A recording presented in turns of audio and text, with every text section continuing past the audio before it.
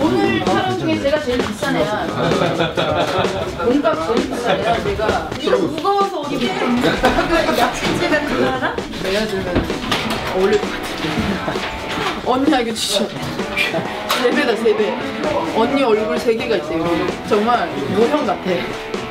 너무 커 너무 커가지고. 아이고 아. 아유.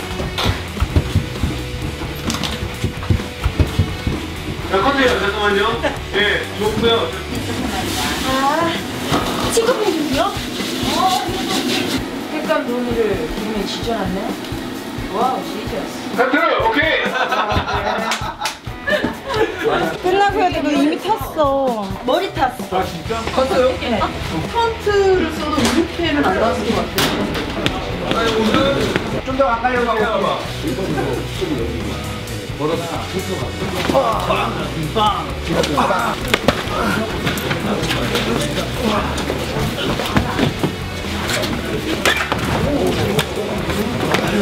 뭐 몸이 되는 데까지는 제가 직접 하는 게 시청자들한테 좋은 모습을 보여드릴 수 있는.